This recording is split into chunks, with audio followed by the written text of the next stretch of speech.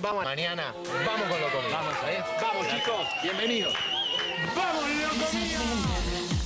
Deep inside, you can find it all around.